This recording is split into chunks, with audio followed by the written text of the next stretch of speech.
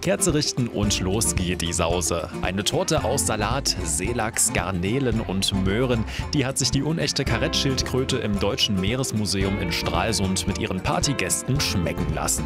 Der Anlass, der 50. Geburtstag. Erste Altersanzeichen, die manch menschlichen Altersgenossen plagen, sind dem Tier fremd.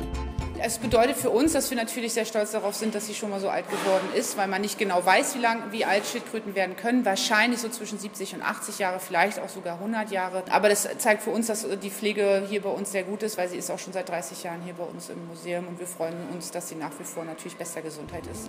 Als gerade geschlüpftes Jungtier kam sie 1965 in den Tierpark Berlin. Von dort ging es nach Leipzig und vor 30 Jahren als erste Meeresschildkröte nach Stralsund.